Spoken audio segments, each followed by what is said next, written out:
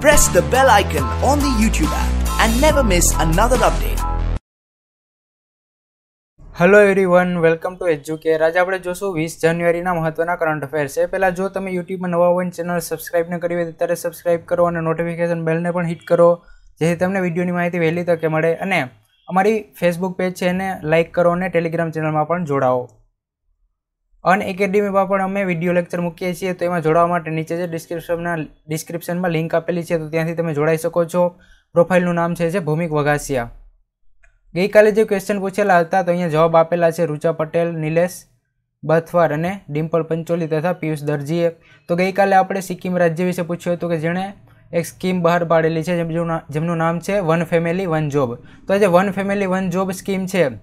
એના વિશે આપણે જોયું હતું કે ક્લાસ થ્રી અને ક્લાસ ફોર લેવલની જોબ આપવામાં આવશે દરેક ફેમિલીના એક વ્યક્તિને કે જે ફેમિલીમાં કોઈ પણ પાસે ગવર્મેન્ટ જોબ હશે નહીં તેના, તેમને. તો અહીંયા પછી સિક્કિમ વિશે વાત કરેલી છે.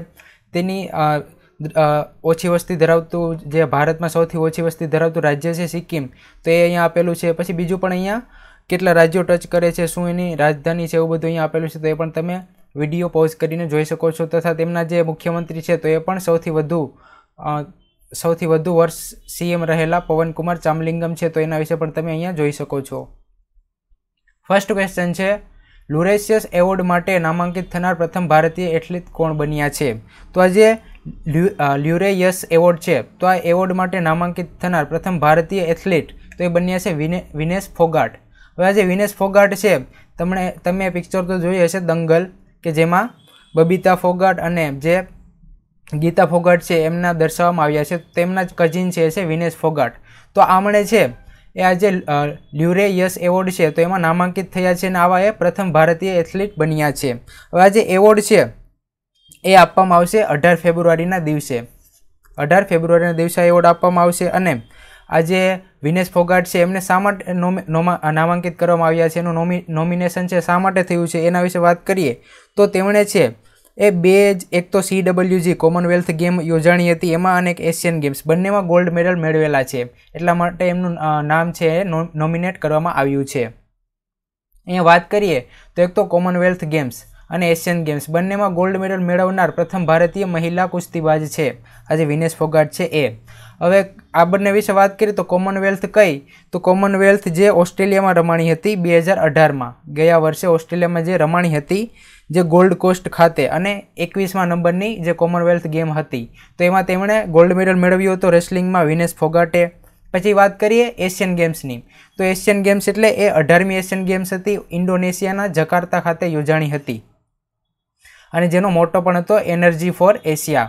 તો આ જે એશિયન ગેમ્સ હતી તેમાં પણ વિનેશ ફોગાટજી છે તેમણે ગોલ્ડ મેડલ મેળવ્યો હતો. તો આ બંનેમાં ગોલ્ડ મેડલ મેળવનાર પ્રથમ ભારતીય રેસલર છે આ વિનેશ ફોગાટજી અને તેમને લ્યુરેયસ એવોર્ડ માટે નામાંકિત કરવામાં આવ્યા છે અને આવા તે પ્રથમ ભારતીય કુસ્તીબાજ છે, એ પણ યાદ રાખો. અને આજે વિનેશ ફોગાટ છે, એ હરિયાણાના છે. અને એવોર્ડ તેમને મળશે, એ આખું નામ છે એનું લ્યુરેયસ વર્લ્ડ સ્પોર્ટ એવોર્ડ. તો આ એવોર્ડ તેમને મળશે. હવે બીજી વાત કરીએ, તો આ એવોર્ડ છે, એ દર વર્ષે આપવામાં આવે છે. અને આ એવોર્ડ છે, સૌથી વધુ જીતો હોય તો એ સ્વિટ્ઝરલેન્ડ. જે સ્વિટ્ઝરલેન્ડ છે, તેના ટેનિસ ખેલાડી છે, જેમનું નામ છે રોજર ફેડરર. તો જે રોજર ફેડરર છે, નામ તો તમે સાંભળ્યું જ હશે. તેમણે આ સૌથી વધુ છ વાર જીતેલો છે. આ જે લ્યુરે લ્યુરેયસ એવોર્ડ છે એ. તો રોજર ફેડરરનું નામ પણ યાદ રાખજો, જેમણે સૌથી વધુ વાર એવોર્ડ જીતેલો છે. અને હાલ નામાંકિત થયા છે વિનેશ ફોગાટ, જે હરિયાણાના છે, એમનું નામ પણ યાદ રાખજો. નેક્સ્ટ ક્વેશ્ચન છે, હાલમાં વડાપ્રધાન નરેન્દ્ર મોદીજીએ કયા શહેરમાં મેડિકલ કોલેજની આધારશિલા મૂકી છે? તો આપણે જોયું કે જે આપણા વડાપ્રધાન નરેન્દ્ર મોદીજી છે, હાલ આપણા ગુજરાતની મુલાકાતે છે અને પછી તેઓ ત્યાંથી જે દાદરાનગર હવેલી છે ત્યાં ગયા હતા, તો ત્યાં તેમણે જે સેલવાસ છે અથવા તો સિલવાસા તો આ જે સેલવાસ છે ત્યાં એક મેડિકલ કોલેજની આધારશિલા મૂકી હતી. હવે આ છે દાદરા નગર હવેલીની પ્રથમ મેડિકલ કોલેજ છે કે જેની આધારશિલા મૂકવામાં આવી હતી. આ સિવાય એક તકતી એક તકતી હતી, એનું પણ અનાવરણ કરવામાં આવ્યું હતું.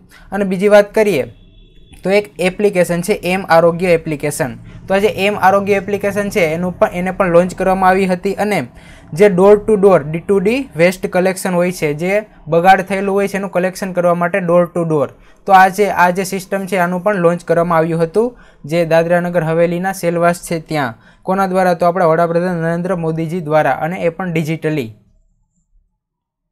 નેક્સ્ટ ક્વેશ્ચન છે, તાજેતરમાં વડાપ્રધાન નરેન્દ્ર મોદીજીએ નેશનલ મ્યુઝિયમ ઓફ ઇન્ડિયન સિનેમાનું ઉદ્ઘાટન કર્યું, તે ક્યાં સ્થિત છે? તો આપણા વડાપ્રધાન નરેન્દ્ર મોદીજીએ જે national museum of Indian cinema. તો આનું જે ઉદ્ઘાટન કર્યું છે મુંબઈમાં સ્થિત છે. મુંબઈમાં આવેલું national museum of Indian cinema. તો આ જે national museum of Indian cinema છે, તેમણે ઉદ્ઘાટન આનું કરેલું છે અને ટોટલ એકસો ચાલીસ કરોડના ખર્ચે આ બનેલું છે. આ છે બે બિલ્ડિંગો વચ્ચે આવેલું છે અને આની અંદર છે ઓગણીસમી સદીનું જે ગુલશન મહેલ છે, એ પણ કેમ્પસની અંદર આવેલું છે ઓગણીસમી સદીનું ગુલશન મહલ. અને આની ખાસિયત એવી છે કે આમાં જે પ્રવાસીઓ આવશે, જે ટ્રાવેલર્સ બધા આવશે ફોરેનર ફોરેનરથી આવશે, પછી ભારતથી પણ આવશે, તો જે પ્રવાસીઓ હશે, એ વિઝ્યુઅલી પછી ગ્રાફિકલી આ આ બંનેની મદદથી છે ભારતીય સિનેમાની જ્યારથી ભારતીય સિનેમા શરૂ થયું, ત્યારથી લઈને અત્યાર સુધીનો જે પ્રવાસ છે, નિહાળી શકશે. ક્યાં? તો કે નેશનલ મ્યુઝિયમ ઓફ ઇન્ડિયન સિનેમામાં કે જે મુંબઈમાં સ્થિત છે અને હાલ તેમનું વડાપ્રધાન નરેન્દ્ર મોદીજી દ્વારા ઉદ્ઘાટન કરવામાં આવ્યું છે. નેક્સ્ટ ક્વેશ્ચન છે એલ કંપનીના, એટલે કે લર્સન એન્ડ ટુબ્રો તો આ જે એલ કંપની છે, એ કંપનીના આર્મર સિસ્ટમ કોમ્પ્લેક્સનું ઉદ્ઘાટન કોણે કર્યું છે?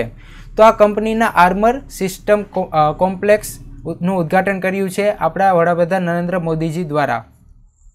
હવે આ શું છે એના વિશે વાત કરીએ, તો એક ટેન્ક છે જેનું નામ છે કે નાઇન વજ્ર. તો આ જે ટેન્ક છે કે નાઇન વજ્ર, તો આ છે આને બનાવવા માટે, આનું મેન્યુફેક્ચરિંગ કરવા માટે જે આ એલએનટી કંપની છે, તેમણે આર્મર સિસ્ટમ કોમ્પ્લેક્સ સ્થાપ્યું છે, તો એનું ઉદ્ઘાટન આપણા વડાપ્રધાને કરેલું છે. ક્યાં કરેલું છે તો ગુજરાતના હજીરા ખાતે.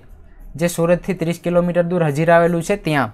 હવે આ છે, આ જે કોમ્પ્લેક્સ છે, એમાં શું થશે? તો આ જે કે નાઇન વજ્ર છે, એ બનાવવામાં આવશે. અને આ જે કે નાઇન વજ્ર છે, દેશની પ્રથમ પ્રાઇવેટ ફેસિલિટી છે. આ જે આર્મર આર્મર સિસ્ટમ કોમ્પ્લેક્સ છે, તો એ દેશની પ્રથમ પ્રાઇવેટ ફેસિલિટી છે કે જ્યાં આ જે કે નાઇન વજ્ર છે, બનાવવામાં આવશે. અને આ કે નાઇન વજ્રનું આખું નામ જાણીએ, તો આનું આખું નામ છે કે નાઇન વજ્ર સ્વયં સંચાલિત હોવિટઝર ગન.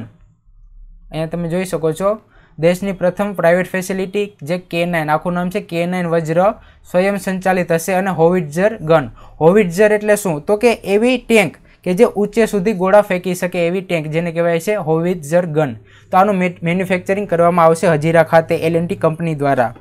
હવે હવે થોડા આપણે પાસ્ટમાં જઈએ.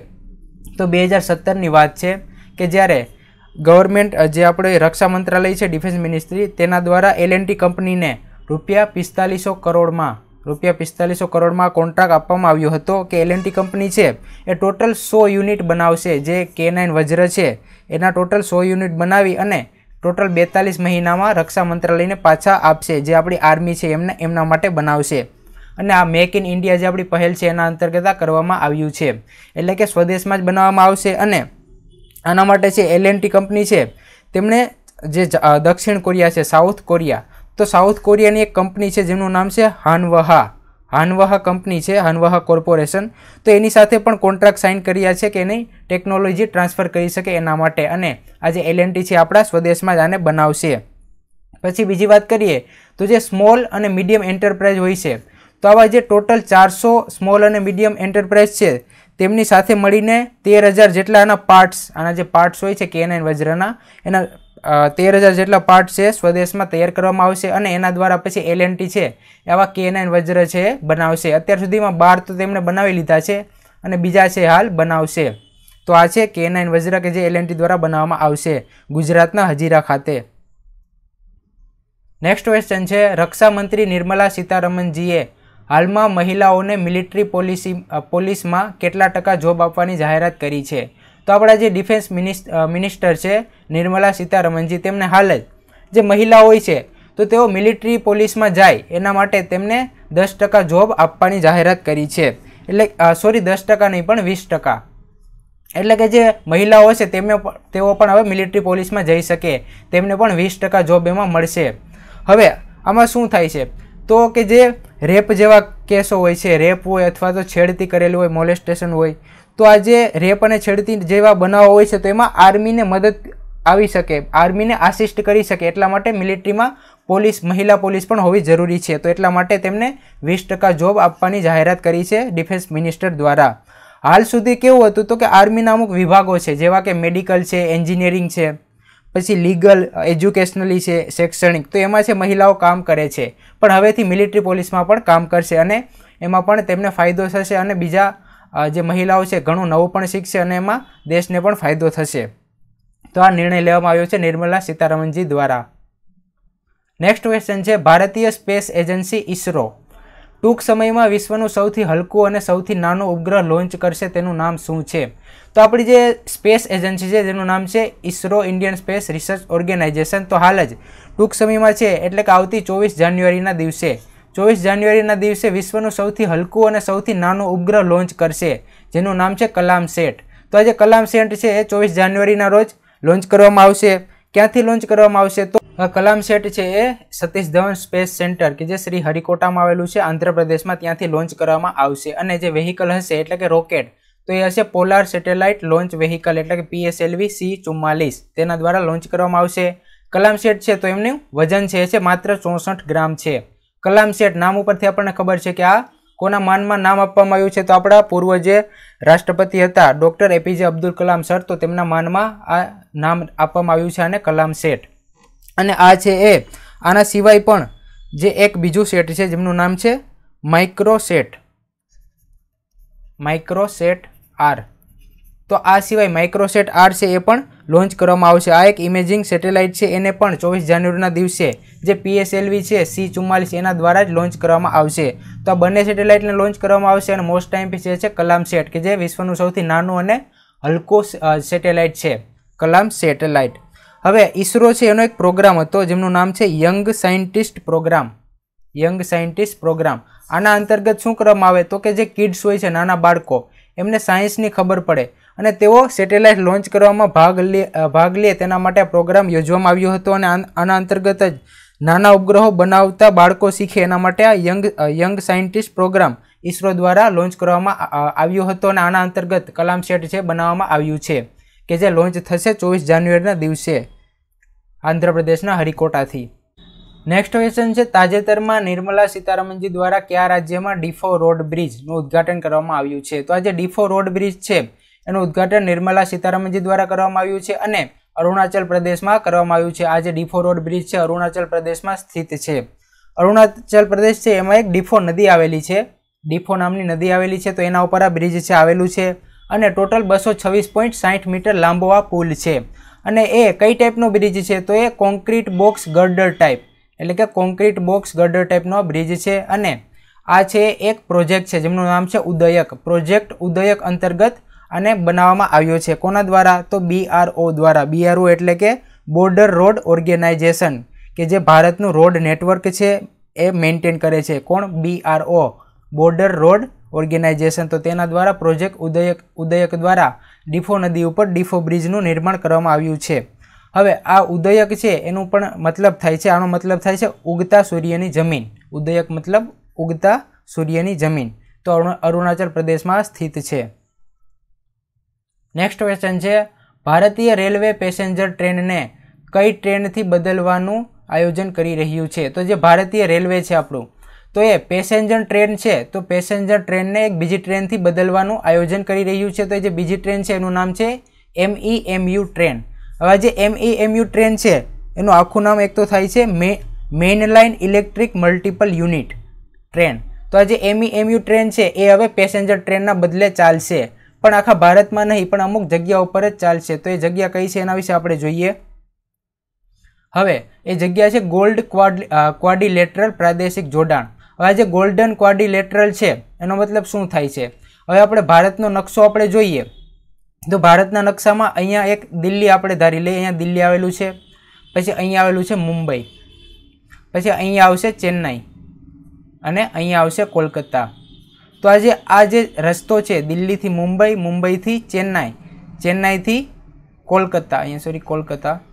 ચેન્નાઈથી કોલકાતા ને કોલકાતાથી દિલ્હી.